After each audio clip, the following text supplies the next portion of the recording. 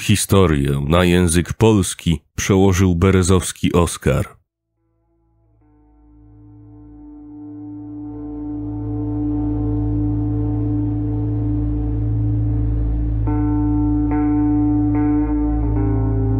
Mój ojciec opowiedział mi kiedyś pewną historię. Nigdy jej nie zapomnę z kilku powodów. To chyba pierwsza historia, którą mi opowiedział, gdy byłem mały. To także historia o tym, jak zmarł mój dziadek. Ale szczerze mówiąc, to nie jest powód. Słyszymy różne historie w telewizji, albo czasem podsłuchujemy w miejscach publicznych. Ludzie mówią o duchach i kosmitach, a ty myślisz sobie, to nie jest prawdziwe. Oni to wymyślają albo się mylą, albo są szaleni. Po prostu nie możesz w to uwierzyć. Tak jest, dopóki coś się nie wydarzy. Coś, co łączy to wszystko razem. Łączy kropki w sposób, o którym wcześniej nie pomyślałeś. Może to przydarzy się tobie, a może usłyszysz tę samą historię raz po raz od różnych ludzi.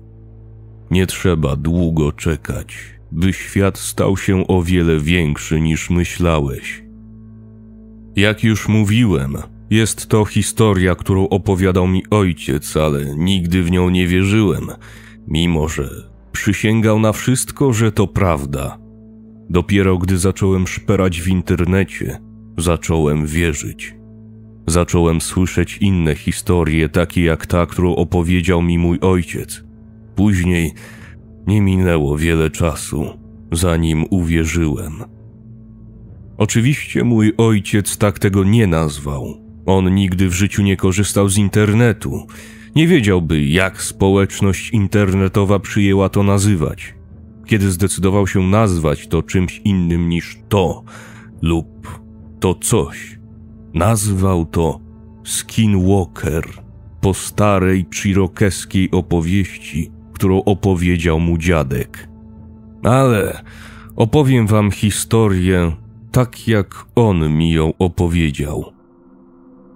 Pewnej nocy byliśmy na polowaniu w lasach otaczających farmę mleczną w Ohio, gdzie wtedy mieszkaliśmy. Opowiadał mi.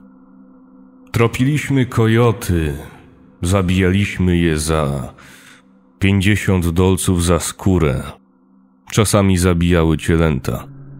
Robiliśmy to co noc, bo potrzebowaliśmy pieniędzy.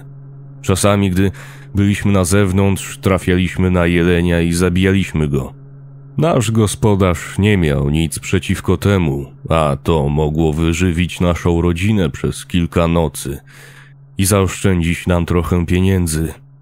W każdym razie, skończyliśmy robić rundkę i zmierzaliśmy do domu. Pieszo, bo nie mieliśmy wtedy samochodu ani czterokołowca. Przeszliśmy przez las. Wtedy się na to natknęliśmy. Krew. Wszędzie rozpryśnięta na drzewach, w trawie, w potoku wszędzie. Na początku myśleliśmy, że to stado kojotów. Widzieliśmy, jak czasami, gdy nie były w stanie z jakiegoś powodu żerować, z desperacji zaczynały polować na jelenie lub bydło. Najgorsze było, gdy rozmnażały się ze zdziczałymi psami. Ale to nie było tak. Widzisz, kiedy stado psów, wilków czy kojotów coś atakuje, robią to jak należy. Wybierają takie, które jest słabe, chore albo stare, albo po prostu małe. Polują na niego, wciągają go w kąt, gdzieś, gdzie nie można się wydostać i biegną prosto do największego alfy. A ten jeleń nigdy nie zobaczy tego alfy. Może go usłyszeć, ale go nie zobaczy. Nagle jego gardło zostanie rozerwane i padnie martwy. To jest szybkie i czyste. To nie było to, co stało się tutaj. Coś wpadło na grupę jeleni. Kojoty nie zaatakują grupy. Wilki też nie, za bardzo by się starły. Były trzy, jak sądzę. Trzy ciała, rozerwane na strzępy. Tu widać było głowę lub tułów, tam nogę. Drapieżniki tak nie robią, nie zostawiają resztek. Cokolwiek to zrobiło, nie zrobiło tego dla jedzenia. Zrobiło to dla zabawy. Ale wtedy tego nie wiedzieliśmy oczywiście. Zobaczyliśmy tylko masę zwłok i stwierdziliśmy, że to coś, czym musimy się zająć. Pamiętam, jak tata powiedział mi, żebym wracał do domu, że jego zdaniem to robota bandy zdziczałych psów. Ale nie miałem zamiaru go zostawiać, a już na pewno nie zamierzałem wędrować przez trzy kilometry lasu sam, w ciemności, z niczym innym jak dwudziestką dwójką i scyzorykiem.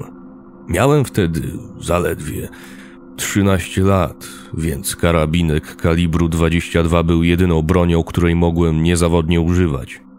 Tata miał strzelbę, a ja nigdzie się nie ruszałem bez niej ani bez niego. Zajęło mi trochę czasu, aby go przekonać, ale w końcu zaczęliśmy tropić cokolwiek to było. I to nie było trudne, po prostu podążaliśmy za krwią. Albo to coś wykrwawiło jelenia, albo ciągnęło go przez mile. Nie wiem. Wiem tylko, że nigdy wcześniej nie widziałem mojego ojca przestraszonego. Zaczęliśmy słyszeć najstraszniejsze dźwięki. Byłem w wielu lasach w moim życiu i byłem na całym świecie, ale nigdy nie słyszałem takich dźwięków jak tamtej nocy. Słyszałem krzyki Słyszałem jelenie, lisy, króliki, szopy i ptaki. Wszystkie one bały się czegoś i uciekały. Pamiętaj, że jest to może godzina dwunasta lub pierwsza w nocy. Poza lisem i kilkoma ptakami nic nie powinno było się obudzić o tej godzinie. Ale te nie były po prostu zbudzone. One pędziły, uciekały. Tej nocy widziałem stada ptaków które wlatywały prosto w drzewa, próbując uciec przed czymś. Natknęliśmy się na stado kojotów i prawie zastrzeliliśmy parę, myśląc, że mają nas na celowniku. Ale wtedy spostrzegliśmy, że uciekały od kogoś, a nie biegły na nas. Nawet nas nie zauważyły i nas minęły. Potem kilka jeleni zrobiło to samo. Potem jakieś króliki, wiewiórki i lisy. Nawet kilka dzikich świń. Te zwierzęta miały polować na siebie nawzajem, a jedyną rzeczą, na której im zależało, było znalezienie się jak najdalej od tego miejsca. Powinniśmy byli połączyć fakty, że być może to, co śledziliśmy, nie było czymś, co mieliśmy zobaczyć, i nie było czymś, co mogliśmy zabić. Do dziś nie wiem, dlaczego nie poszliśmy prosto do domu. Chyba byliśmy ciekawi. Myślę, że taka była natura mojego ojca, by iść w stronę problemów, walczyć. A będąc świadomym tego, co mój ojciec robił w czasie wojny, uznałem, że najlepiej będzie zostać u jego boku. W końcu dotarliśmy do otwartej polany, Standardowo było to pole soi, ale nie było sezonu, więc był to tylko płaski grunt. Wtedy zobaczyliśmy ślady. Zwierzęta uciekające z lasu zrównały ze sobą wszystko na swojej drodze. Ale tam, gdzie była krew jelenia, nic nie zrobiło, ani jednego kroku. Wyglądało to tak, jakby Cokolwiek było za to odpowiedzialne, zostawiło to dla nas do znalezienia. Ślady były płytkie. Cokolwiek to było, nie mogło ważyć więcej niż 45 kg, ale to niewiele znaczyło. Ważący 20 kg ryś może rozerwać ci gardło, jeśli nie jesteś ostrożny. Fakt, że to coś było po lżejszej stronie, Oznaczał, że prawdopodobnie jest szybkie i ciężko będzie je trafić. Poszliśmy więc za śladami i nie zajęło nam długo znalezienie miejsca, do którego prowadziły. Jest tam stara szkoła, która stoi na szczycie wzgórza. Połowa została zniszczona przez tornado, ale nikt tam nie mieszkał od dawna. Czasami przyłapywaliśmy tam bezdomnych albo narkomanów, szukających bezpiecznego miejsca, żeby się naćpać. Pomyśleliśmy, że to może być to. Może jakiś chory dzieciach na dragach. Ale nie przypuszczaliśmy tego długo. Kiedy zbliżyliśmy się na odległość 50 metrów, usłyszeliśmy hałas. Rodzaj pisku składającego się z dwóch różnych dźwięków. Jeden był wysoki, a drugi to niskie warczenie. Wydawało obydwa dźwięki w tym samym czasie, jeśli to ma jakiś sens. Zbliżyliśmy się na odległość 20 metrów i usłyszeliśmy kolejny dźwięk, tym razem inny. Pamiętam, że pomyślałem, że brzmiało to jak rozdzieranie papieru, podczas gdy ktoś kołysał wodą w tył i w przód w wiadrze. Tata spojrzał na mnie, uklęknął i szepnął. Powiedział mi, że muszę zostać za nim, bo zaraz będziemy osaczać naszą ofiarę. Każde zwierzę będzie walczyć, gdy jest osaczone, zwłaszcza drapieżnik. Ale po śladach możemy stwierdzić, że jest tylko jedno. Mówi mi, że to prawdopodobnie jeden zdziczały pies, najprawdopodobniej wściekły. Plan, jak powiedział, był taki, żeby podkraść się do niego, gdy będzie jadł, zastrzelić go, a potem strzelać do niego tak długo, aż przestanie się ruszać, a potem poderżnąć mu gardło. A jeśli dopadnie tatę, moim zadaniem było zastrzelenie lub ukłucie go, żeby się od niego odczepił. Poszedł więc, a ja stanąłem tuż za nim, nieco z boku, żebym mógł zobaczyć, co to jest. Do dziś tego żałuję. Pochylało się nad padliną. Wyrywało jej mięso i odrzucało na bok to, czego nie nadgryzło.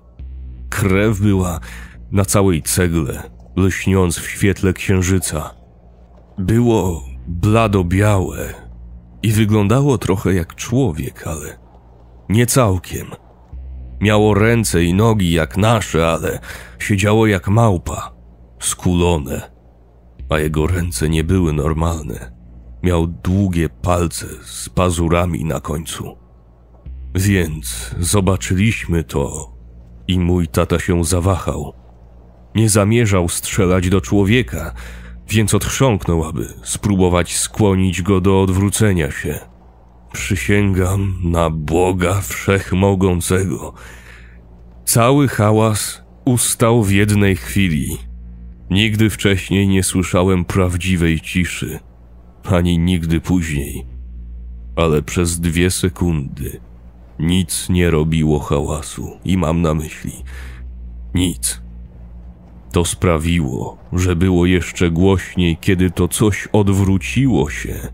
Wydało ten wrzaskliwy okrzyk i rzuciło się na tatę.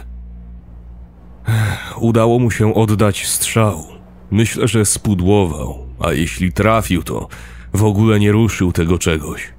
Wskoczyło na niego, odrywając jego części ciała. Zacząłem strzelać z dwudziestki dwójki z bliska, ale to coś ledwo krwawiło. Wystrzeliłem pięć razy, a potem zacząłem uderzać kolbą pistoletu. Nie ruszył się, ani nawet nie zauważył, że tam jestem rozszarpywało mojego tatę, usuwając całe płaty jego ciała. Najpierw jego tors, zdzierając skórę z klatki piersiowej, a potem przeniosło się wyżej. Rozerwało mu gardło, oderwało nos i wydłubało oczy. Potem oskalpowało go i zaczęło penetrować.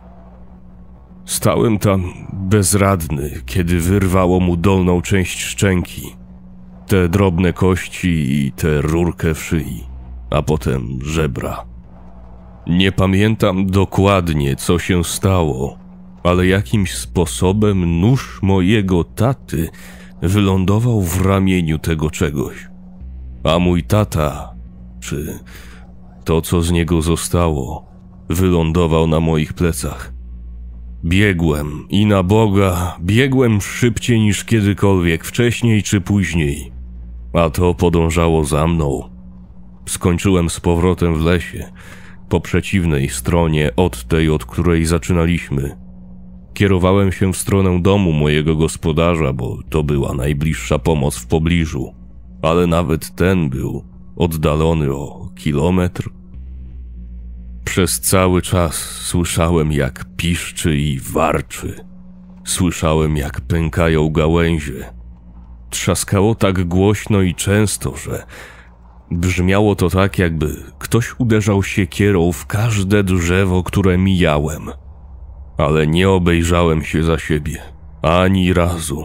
Myśl o tym nawet nie przeszła mi przez głowę. W końcu potknąłem się i wpadłem w jakieś błoto. Spojrzałem w górę, aby zobaczyć mojego gospodarza i grupę kumpli pijących wokół ogniska. Krzyczałem i płakałem, a oni podeszli. Powiedziałem im, żeby zadzwonili po karetkę, a mój gospodarz spojrzał na mnie i powiedział coś, czego nigdy nie zapomnę. Co ty masz na plecach? zapytał mnie. Gdy tylko słowa opuściły jego usta, dotarło do niego od razu. To była jedna z tych okropnych flanelowych koszul, które mój tata wszędzie nosił. I cholera. To było prawie wszystko, co zostało po moim ojcu. Poza odrobiną głowy i torsu mojego ojca, to było wszystko. Absolutnie nic poniżej pasa. Nagle usłyszeliśmy to skrzeczenie. Mój gospodarz chwycił mnie, powodując, że upuściłem to, co zostało staty na ziemię. A ja walczyłem z nim. Płakałem, bo myślałem, że jeszcze uda nam się go uratować jakoś. Ale prawda była taka, że mój tata odszedł na długo przed tym, jak go podniosłem. Jedyne co zrobiłem, to przyniosłem jego zwłoki do domu. Mój gospodarz musiał mnie podnieść i wciągnąć do środka, zanim się uspokoiłem. On i jego kumple wszyscy razem weszliśmy do środka, a oni zamknęli drzwi i wzięli broń. Gospodarz spytał, co się stało, co się stało, ale nie wiedziałem, co mu odpowiedzieć. Poskładał to na tyle, że zrozumiał, że na zewnątrz było coś bardzo groźnego. W domu zapaliły się wszystkie światła i ktoś zadzwonił na policję. Powiedzieli, że przyjadą tak szybko, jak tylko będą mogli, ale to oznaczało 15 minut. Wyjrzeliśmy na zewnątrz i zobaczyliśmy, że kroczy przed ogniskiem, które zrobili. Nikt nie wiedział, co to było. Jeden z nich powiedział, że wyglądało jak małpa. Nagle coś wpadło przez okno. Wszyscy do tego strzeliliśmy, ale zorientowaliśmy się szybko, że to nie było coś. Nie, to był pies właściciela. No, w każdym razie jego ciało. Brakowało mu głowy i nóg. Zaczęliśmy właśnie zabezpieczać drzwi i okna, kiedy usłyszeliśmy coś w garażu. Pamiętam, że jeden z jego przyjaciół powiedział, że drzwi były otwarte. Słyszeliśmy, jak metal i szkło są rozrywane i rozbijane. Dla pewności przeciągnęliśmy kanapę i telewizor przed drzwi do garażu. Jeszcze trochę waliło, ale potem zrobiło się cicho. Nie cicho jak wcześniej. Słyszeliśmy, jak się trochę porusza, a chłopaki rozmawiali, upewniając się, że ich broń jest gotowa. Ktoś e, podał mi pistolet. Odbezpieczyłem pistolet, gdy usłyszeliśmy, jak na górze coś się roztrzaskuje. Potem znów usłyszeliśmy ten pisk, tyle że tym razem głośniejszy, nie odbijający się echem i nie gasnący, bo to było już w środku. Wszyscy pospieszyliśmy do jednych drzwi, które prowadziły na górę i dotarliśmy do nich równo z tym czymś. Otworzyło je tylko trochę i czterech lub pięciu mężczyzn uderzyło w nie. Udało mu się przełożyć rękę. Ktoś ze strzelbą się tym zajął. Przyłożył lufę do jego nadgarstka i pociągnął za spust. Rozwalił mu rękę. Ale to tylko go wkurzyło. Zaczął uderzać w te drzwi pazurami. Byliśmy po jednej stronie, napierając na nie najlepiej jak potrafiliśmy, a on był po drugiej, robiąc to samo. Drewno nie mogło wytrzymać, więc ktoś poradził nam się nie wychylać. Nagle górna połowa drzwi zniknęła, a w uszach mi zadzwoniło. Wszędzie leżały drzazgi. Dwóch lub trzech z nas opróżniło magazynki na górnej części drzwi. I nie bardzo wiem, gdzie to się potem rozwiało. Policja dotarła na miejsce. Byłem nadal przylgnięty do tego, co zostało z drzwi. Słońce już zaszło. Umieścili mnie w szpitalu na jakiś czas. Kiedy tam byłem, wielu ludzi do mnie gadało, ale ja nie odpowiadałem. Nie reagowałem przez długi, długi czas. Kiedy wróciłem do domu, dostałem pracę u właściciela pracując na farmie. Niewiele rozmawialiśmy. Nie na ten temat. Ale zapisałem się do wojska, kiedy miałem 19 lat, a on przysiadł ze mną, żeby wypić trochę szkockiej na pożegnanie. Od razu zapytałem go, co powiedziała mu policja. Powiedzieli, że to było dzikie zwierzę, prawdopodobnie wilka, może niedźwiedź, który migrował na północ.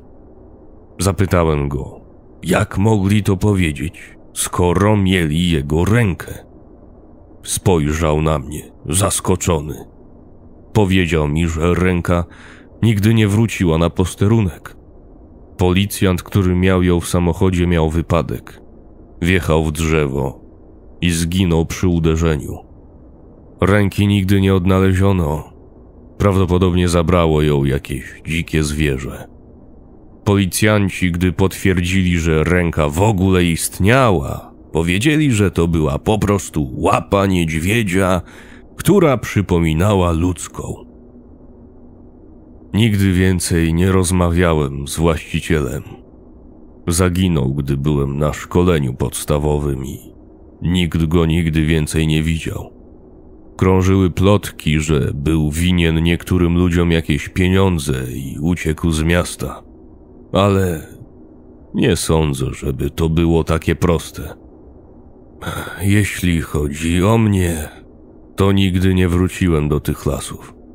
Nie wróciłbym nawet, gdybym miał całą cholerną armię amerykańską za plecami. To był skrót tego, co ojciec powiedział mi o incydencie w lesie. Jest jednak tylko jeden problem. Mój ojciec kłamał. Kiedy moja matka umarła, ojciec chyba uznał, że nic mu nie pozostało i że równie dobrze może wyrównać stare rachunki. Wrócił do lasu i też nigdy nie wrócił.